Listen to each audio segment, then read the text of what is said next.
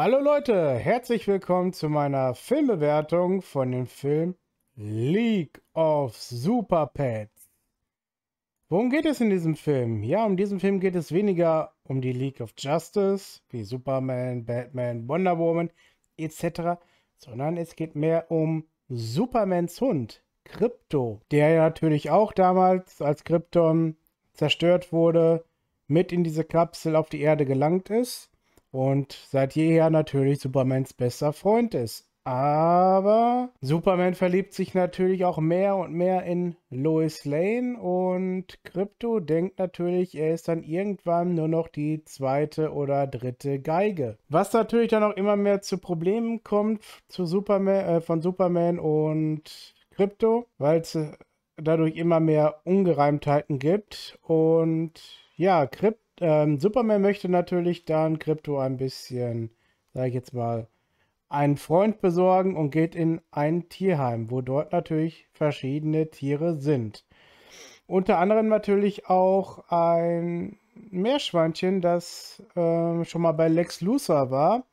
Und an diesem Meerschweinchen wurden diverse Experimente mit orangenen Kryptonit herbeigeführt. Und dieses Kryptonit tut Superman nicht schwächen, tut Superman nicht stärken, aber es verleiht Tieren dadurch unmenschliche Kräfte. Und ja, da dieses Tier momentan jetzt nicht innerhalb von diesem Kryptonit-Radius ist, hat dieses Tier, hat dieses Tier nur die Möglichkeit, mit anderen Tieren zu sprechen, so rum. Aber eines Tages, durch einen Zufall, kommt in dieses Tierheim natürlich dieses orangene Kryptonit rein.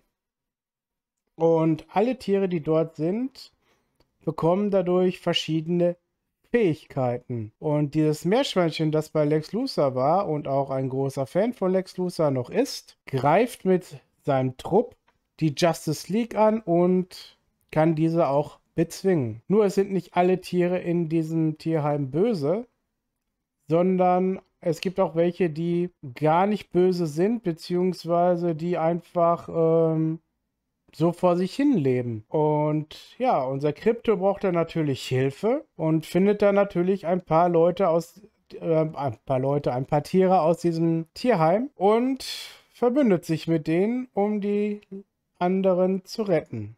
Ja, so kann man das ungefähr zusammenfassen. Ja, was gibt es Positives zu sagen? Also die Animationen sind cool, die Story ist für einen familienfreundlichen Film auf jeden Fall auch super und ähm, der Film macht schon Spaß. Also, das muss ich sagen. Also, ich habe mich ein paar Mal richtig gut äh, beäumelt. Also, das ist schon richtig gut. Aber geht man ein bisschen weiter in diesen Film, ein bisschen tiefer in den Film. Also, die Justice League fand ich ein bisschen sehr, ja, teilweise sage ich jetzt mal tollpatschig dargestellt. Klar war natürlich vielleicht für die Story, weil der Fokus ja mehr auf die Tiere liegt. Aber womit ich echt ein Problem hatte, das war die Synchronisation. In Amerika ist die Synchronisation viel besser besetzt als hier in Deutschland. Also äh, wird zum Beispiel gesprochen von Drain the Rock Johnson, der auch den Film mitproduziert hat. Dessen deutsche Synchronstimme ist zwar dabei, mit der habe ich auch überhaupt kein Problem, aber zum Beispiel in Amerika ist zum Beispiel noch ein Kevin Hart dabei als Synchronstimme. Ein Keanu Reeves zum Beispiel, ein John Krasinski zum Beispiel. Und was haben wir in Deutschland? Also die schlimmste Stimme, die ich finde, ich finde diese Person als Comedian absolut vollkommen in Ordnung.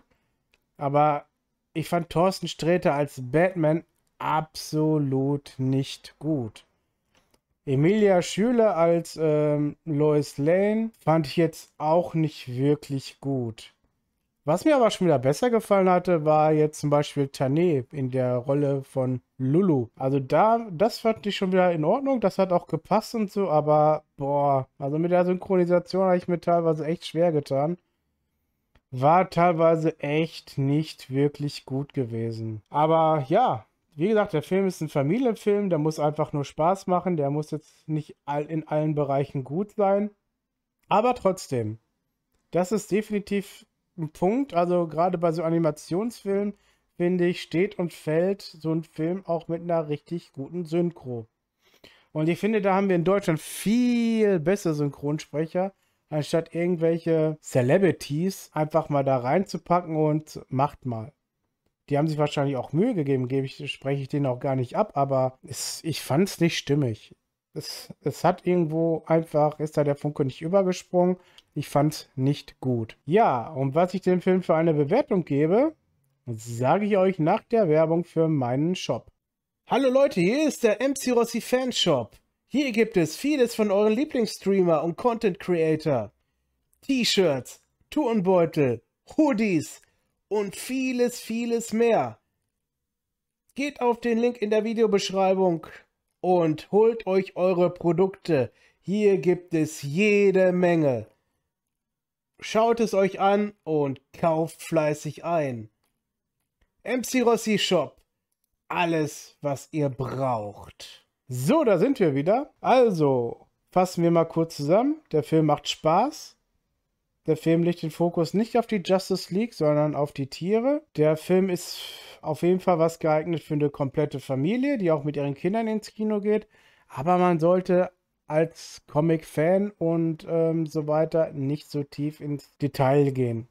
Weil da ein paar Sachen sind, die halt vielleicht den einen oder anderen auch nicht gefallen. Mir teilweise eingeschlossen. Somit gebe ich den Film, für das, was er ist, ist er ja gut.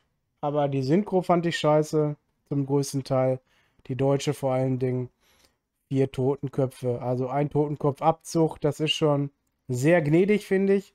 Weil so ein Film halt mit einer guten Synchro steht und fällt. Ja, das war die Filmbewertung für diese Woche. Was nächste Woche kommt, muss ich mal wieder gucken, weil es momentan einfach ein bisschen, ja, kompliziert ist, beziehungsweise schwierig ist manchmal einen vernünftigen Film zu finden. Aber irgendwas werde ich schon finden für euch und dann werde ich euch davon auch wieder berichten. Ich wünsche euch noch einen schönen Tag. Bis demnächst.